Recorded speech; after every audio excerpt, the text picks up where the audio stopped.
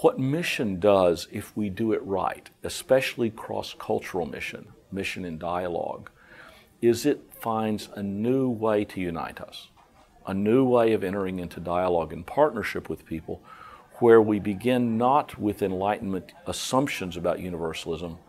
but with the commonalities that we learn by knowing each other. Christian mission in particular leads us into those places where we engage in that kind of dialogue.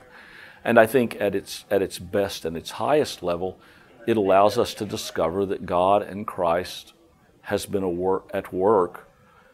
in other cultures so that we begin to see more and more clearly the nature of God and the nature of Christ and the meaning of the incarnation. In a way, it's a bonus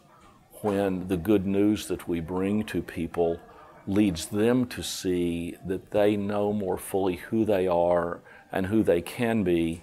by putting their faith in Jesus Christ. Regardless of whether that happy outcome occurs, we will learn with them better who we all are together in Jesus Christ.